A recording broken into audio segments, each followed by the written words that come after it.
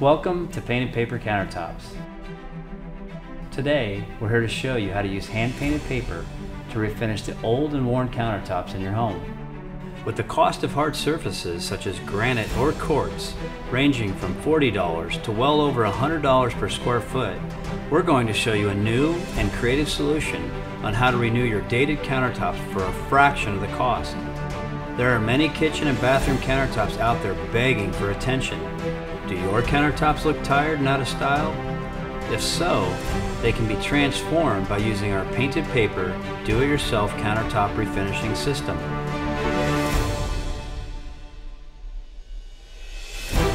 Painted Paper Countertops is a very unique and environmentally friendly countertop refinishing kit. It's the perfect fix for any dated countertop surface such as laminate, wood, or concrete.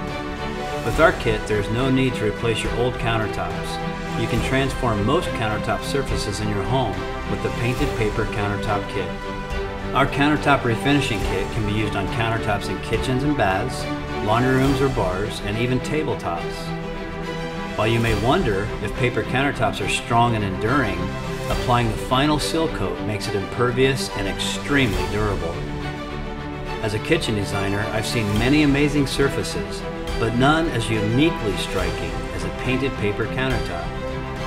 It has the look of granite or stone, yet a complete, unique look of its own. Our hand-painted papers will make your countertop stunning. Though it is designed for the do-it-yourselfer to refinish the countertops in their own home, we have used it professionally in many design projects. The Painted Paper Countertop Marble and Stone collection is available in 24 beautiful colors and works well with all design styles. Painted Paper Countertops is a fraction of the cost of real granite or stone, and the simple application process makes it even more attractive.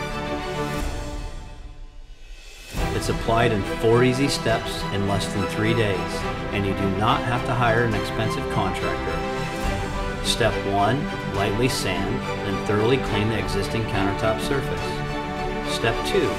Prime the existing countertop with the painted paper countertop bond coat. Step 3. Tear and paste the paper to the prepared countertop surface using the painted paper countertop paper adhesive. Step 4 apply two final coats of the painted paper countertop sealer.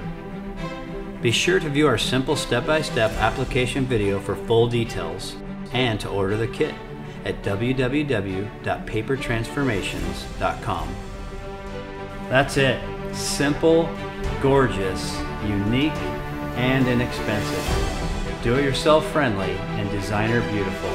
Painted paper countertops.